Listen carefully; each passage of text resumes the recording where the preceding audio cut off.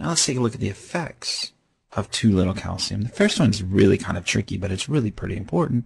The reason that it's tricky is one would assume one would assume that having less calcium outside the cell would mean less positive charges leaking into the cell, resulting in hyperpolarization. So one of the great paradoxes is to understand how low calcium actually causes hyperexcitability. So it's a bit paradoxical then that decreased calcium actually leads to depolarization and hyperexcitability. I guess I have a little background in electrophysiology and in measuring electrical currents across the cell, and so I kind of understand this or I've seen this developed, that if you don't have the right amount of calcium when you're recording currents across cell membranes, it leads to spurious results, weird results. And the main theory that electrophysiologists or patch clampers always had was that there's slight negative charges on the outside of a cell. And those negative charges need to be balanced by calcium. Calcium is the only ion small enough to get in there. Sodium is small enough to get in there, but it carries a huge water shell and so calcium is the only ion on the outside of the cell small enough to get in there and balance these negative charges created by proteins on the outside of the cell. So what happens if there's not as much calcium? There's less shielding of these negative charges on the outside of the cell, so the outside of the cell is more negative. This lessens how negative the inside of the cell is in comparison, and the effect then is that the cell has what looks like a, a more positive voltage on the membrane.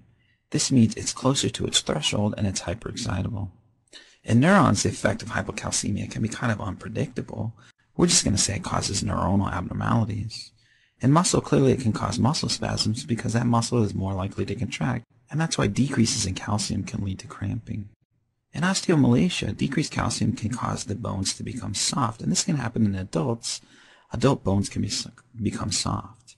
In rickets, it's actually the growth plate that becomes soft and expands. It causes knocked knees. And it's kind of the large knees here. So osteomalacia is the bowing of the femur. Rickets is the expansion of the growth plate. And that really can only occur in kids because only kids have growth plates. In adults, lack of calcium can lead to osteoporosis.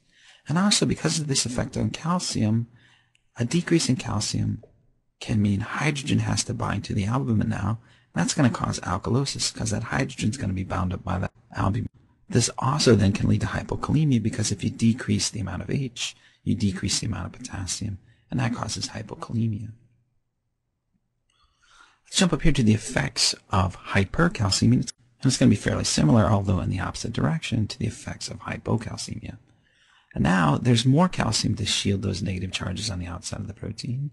And so this causes hyperpolarization because the inside of the cell now seems more negative because the outside of the cell is more positive. In the neuron then, this can just cause general abnormalities that are kind of hard to predict. In the heart, the hyperpolarization can slow down the heart rate and decrease contractility enough to lead to cardiac arrest. Technically, the increased calcium will enter faster during the depolarization phase, but since the cell is hyperpolarized, it takes longer to become depolarized. When muscles are hyperpolarized, it becomes harder for them to contract.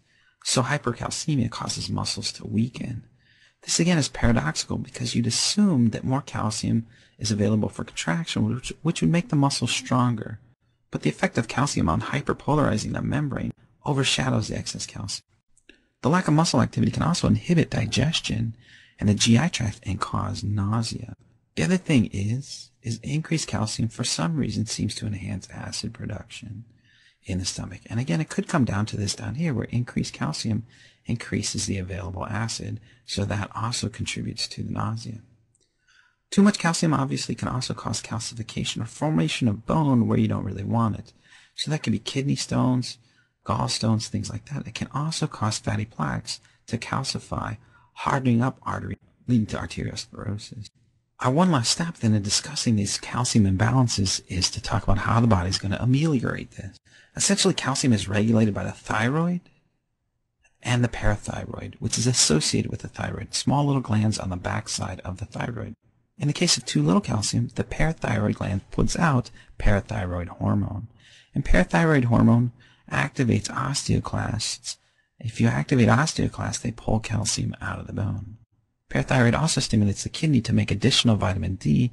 Technically, skin makes vitamin D, but kidney activates that vitamin D to vitamin D3 that is actually active in absorption of calcium from the gut.